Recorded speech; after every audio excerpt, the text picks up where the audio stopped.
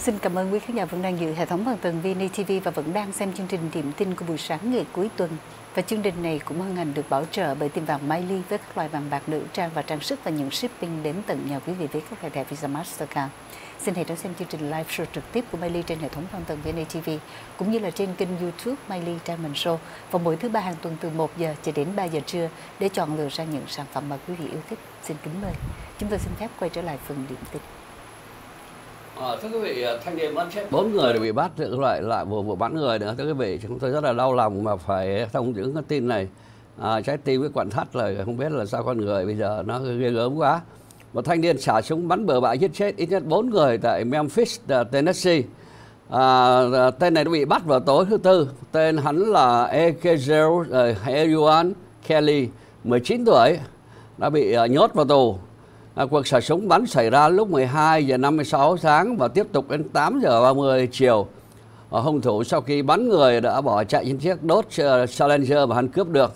May mắn mà người lái xe không có bị gì, nhưng mà người phụ nữ lái chiếc xe SUV mà hắn cướp trước đó thì bị bắn chết. Thế vậy à, có lẽ vì người phụ nữ đã chống cự, cái hung thủ đã bắn lung tung tại nhiều địa điểm và bắn nhiều người vô can khác nhau. Sau khi à, được tin báo thì cảnh sát đã lần theo dấu hắn và à, khi chặn hắn lại thì đối đầu thì hung thủ lúc giờ hết đạn phải nạp mình. À, một cái điều rất là uh, quan ngại đó là hung thủ đã từng lên Facebook và dọa à, làm hại người mà không ai biết thì không,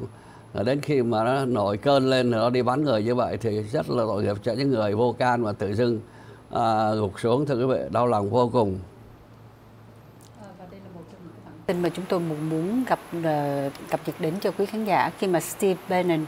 đã nói rằng là ông không có nhận tội về lừa đảo quyên góp tiền xây dựng về cái bức tường biên giới, mà ông trước đó cũng là một trong những cái người đứng về chiến lược cho cựu tổng thống Trump. Thì ờ, với cái cáo buộc tại ờ, tiểu bang New York nói rằng là ông về tội rửa tiền đồng lõa cũng như lừa đảo về góp tiền xây tường biên giới ở phía nam của Hoa Kỳ. Thì cáo trạng cáo trạng đưa ra dựa trên cái hành vi mà ông Bannon đã ờ, bị ờ, công tố viên của liên bang truy tố vào năm 2020 và ông đã cùng với ba người khác à, lừa đảo những người đóng góp trong cái vụ à, quyên góp khoảng hơn 15 triệu Mỹ Kim và sau đó thì được cựu tổng thống Trump đã ân xá về cái vấn đề này. Nhưng mà cái lệnh ân xá của cựu tổng thống đã không áp dụng với những cái cuộc điều tra của cấp tiểu bang và chính vì vậy đã quay vào. Thì à, ông đã bị còng tay và bị cảnh sát vây khi mà đi ngang qua phóng viên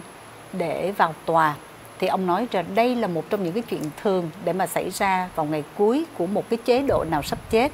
Và họ sẽ không bao giờ bịt miệng được tôi và họ sẽ phải giết tôi trước. Nhưng mà tôi chưa có sẵn sàng chiến đấu. Thì theo cáo trạng cho thấy rằng là một trong số những người thân cận với ông Bannon nhưng mà không có được nêu rõ tên, thì đã mở một cái trang quyên góp trên mạng cho một cái dự án có tên là We Build the Wall để nhằm thuyết phục những người đóng góp thì những người này hứa rằng là sẽ chuyển 100% tiền quyên góp được vào cái dự án We Build the Wall. Và ông sẽ không nhận bất cứ một cái đồng lương nào. Và cái nhóm thân cận với ông Bannon cũng đã vấn, bàn về cái vấn đề sẽ thông báo cho công chúng biết rằng là không ai trong cái dự án này sẽ được nhận lương. Hay là có một trong những người đó cũng đã gửi tin nhắn cho ông Bannon nói là để họ không có bị dính líu về những cái lợi ích cá nhân à, trong cái cái cái quỹ quyên góp và để à, cái cái người phụ trách này coi như là hoàn toàn trắng à, vô tội à, nhưng mà theo như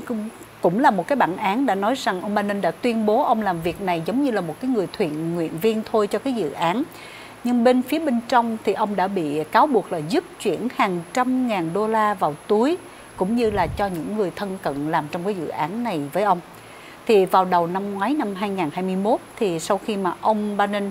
đã được ờ, ờ, cựu tổng thống Trump lúc đó chưa hết nhiệm kỳ, ân xá cho cái cáo trạng liên bang trong cái dự án của ông là We Build the Wall này, thì văn phòng công tố của Manhattan cũng đã bắt đầu điều tra vấn đề hình sự về những cái hoạt động quyên tiền của ông cũng nằm trong cái dự án này thì hiện tại thì ông đã lên tiếng là ông đã bác bỏ về cái lời cáo buộc của tòa New York thì không biết là sự việc sẽ tiến triển như thế nào thì chúng tôi sẽ theo dõi và gửi tin đến quý vị. Ờ, thưa quý vị trở lại vấn đề Nga uh, ờ, có liên hệ một chút xíu. Uh, đó là bốn quốc gia cấm cửa những người Nga đến du lịch tới quốc gia của họ. Thưa quý vị à, bốn quốc gia có biên giới với Nga đã đã ra lệnh cấm dân Nga vào nước họ vì có nhiều tin tức bất lợi cho rằng những người Nga này vào có thể làm gián điệp.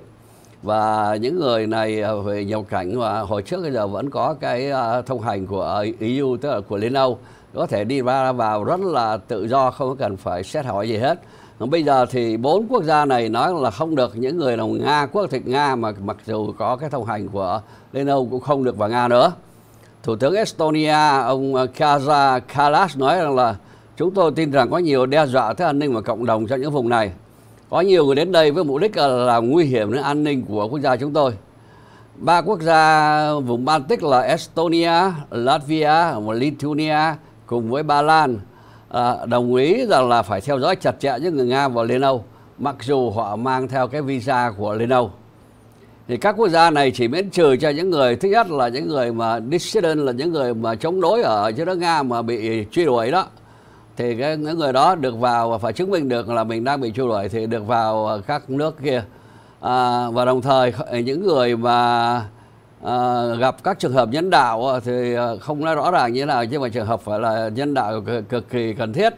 Rồi thứ ba nữa là các thân nhân của các công dân của ba nước này tức là những người đang ở thí dụ nước Estonia, Latvia, Lithuania, Ba Lan mà có thân nhân ở Nga thì bây giờ có quyền được vô nhập cảnh với sự bảo lãnh của những người công dân của các nước này. Thì ông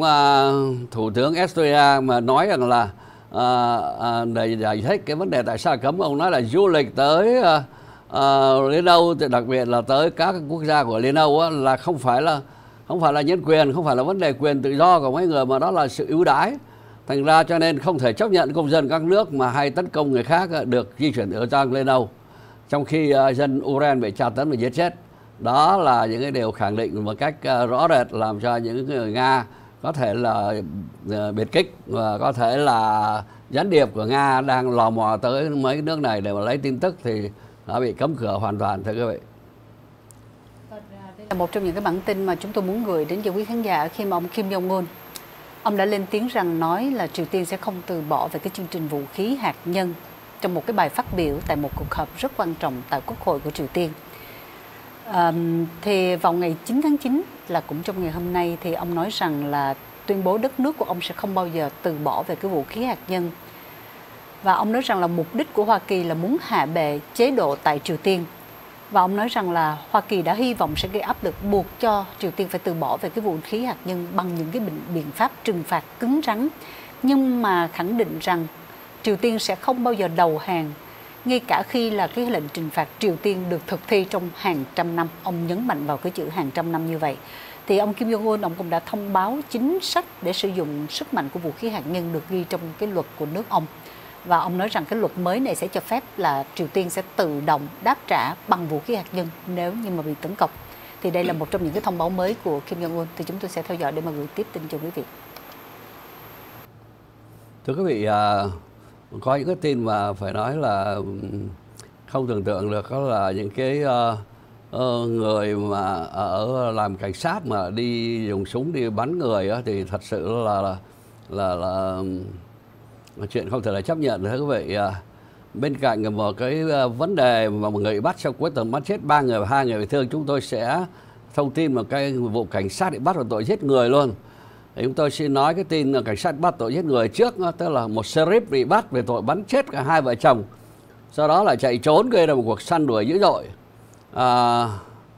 à tại Dublin đó, khoảng 25 dặm đông nam của Auckland đó, à, Devin William Jr. 24 tuổi là cảnh sát của tòa án à, có súng riêng thì đã vào nhà của hai vợ chồng người đàn ông 58 tuổi phụ nữ 42 tuổi bắn chết hai người này bằng khẩu súng để làm việc của mình à, trong nhà lúc đó thì còn 6 người nhưng không ai bị thương. Có lẽ hung thủ chỉ bắn hai vợ chồng mới tư thù một cá nhân nào đó. Sau khi bắn chết người đó thì hung thủ bỏ chạy chiếc xe Volkswagen của hắn. Và cảnh sát được tin báo đã rượt theo và chặn được hung thủ ở cách nơi địa điểm nổ súng chừng 160 dặm. À, khi cảnh sát bao vây thì cảnh sát dùng điện thoại nói chuyện với uh, với hắn. À, trong chừng 15 phút thì hung thủ đầu hàng đó là một cái tin phải nói là rất là bất thường mà cảnh sát mà đi xông vào nhà ta bắn chết người thật. Hơn là lạ lùng biết chắc là khi mà làm tội phạm như vậy thì uh, thì cuộc đời coi như là tàn luôn. Mà không hiểu là sao nó có thể nóng tính đến thế như vậy. Chúng tôi sẽ báo tin cho quý vị biết những chi tiết sau. Dạ và mới đây thì Hoa Kỳ cũng đã thông báo rằng là sẽ ngưng giao cái chiếc đấu cơ F-35 uh, cho cái hãng uh, Lockheed Martin vì đã tìm thấy một cái bộ phận bằng kim loại do Trung Quốc sản xuất. Thì à, đây là cái chiếc đấu cơ F-35 cho những cái binh chủng của Hoa Kỳ cũng như là những cái khách hàng đầu của quốc tế thì à, cơ quan quản trị hợp đồng của Bộ Quốc phòng đã thông báo rằng là có một cái hộp kim loại dùng nam châm trong cái chiếc động cơ F-35 là do Trung Quốc sản xuất. Thì hãng Lockheed Martin đã nói rằng là họ chế tạo cái chiếc động cơ này nói chung nhưng mà cái động cơ là do công ty Honeywell của Hoa Kỳ sản xuất. Và cái vụ phát hiện đã không có ảnh hưởng đến cái hoạt động bay của chiếc F-35 đang được sử dụng. Khi mà Bộ Quốc phòng đã ra một cái thông báo rằng là chúng tôi cũng xác nhận đây là cái 500 À, không truyền thông tin hoặc là làm hư hại chiến đấu cơ và không có rủi ro về hiệu suất phẩm chất an toàn hay là có an ninh liên quan về cái vấn đề này. Do đó thì hoạt động bay của cái phi đội F-35 vẫn được sử dụng, sẽ tiếp tục như bình thường. Thì hãng Lockheed Martin đã cũng tìm một cái nơi khác để mà cung cấp một cái loại hợp kim à, giống như là của Trung Quốc sản xuất để có thể tiếp tục bàn giao cái F-35 trong tương lai thì cũng là tự nguyện nói rằng là báo cáo cái vụ mà F-35 xài hợp kim Trung Quốc và đang điều tra về cái sự việc này. Thì Bộ Quốc phòng cho biết rằng là không biết rằng là sẽ có bao nhiêu chiếc F-35 đã bị tạm ngưng giao hoặc là bao nhiêu chiếc F-35 này đã xài những cái hợp kim từ phía Trung Quốc. Thì theo đúng như mà kế hoạch thì Lockheed Martin sẽ phải bàn giao là 153 chiếc F-35 trong năm 2022 cho Bộ Quốc phòng Hoa Kỳ thì từ đầu năm tới giờ thì họ đã bàn giao được là tổng cộng là 88 chiếc thì chúng tôi cũng sẽ tiếp tục theo dõi để mà gửi tin đến cho quý vị. Thưa quý vị, à, một cái tin nữa cũng là tin à, giết người. Thưa quý vị, một người bắt sau à, cuối tuần vừa qua đã bắn chết ba người và hai làm hai người bị thương. Cảnh sát đã bắt một người đàn ông 41 tuổi ở Chicago nó nổ súng vào căn nhà ở một khu vực xanh phôn chết chết ba người và làm hai khác bị thương. À, cảnh sát không cho biết tên của hung thủ này chỉ cho biết là, là tên này có nhiều tiền án về ma túy tán người án trộm vi phạm luật bạo động gia đình và nhiều tội khác. Tên này từng vào trại giam ở Hennepin County về tội dùng ma túy. Mà không hiểu lý do tại sao tên này được tại ngoại tự do và đợi đến ngày hôm nay hắn vác súng vào bắn chết ờ, nhiều người rồi chạy nhưng mà cuối cùng thì cũng bị bắt. À, thưa quý vị à, thì ờ, giới chức an ninh điều tra các nhân viên mà từng có nhiệm vụ theo dõi tên này và cũng hỏi lý do như là trước đây cũng có một cái tên kia cũng được à, à, thả ra mới tù có bốn năm rưỡi được thả ra về đi bắn người bờ bãi. Thì cái tên này cũng trường hợp y như vậy thì giới chức an ninh như tòa án đang theo dõi tại sao lại có cái vụ mà thả cái tên này ra để nó gây tội phạm như vậy thưa quý vị và một lần nữa thì chúng tôi cũng xin kính mời quý vị hãy giữ hệ thống băng tường VNTV và đến với một vài cơ sở thương mại để bảo trợ cho đài. Chúng tôi sẽ tiếp tục quay trở lại phần điểm tin. Xin cảm ơn.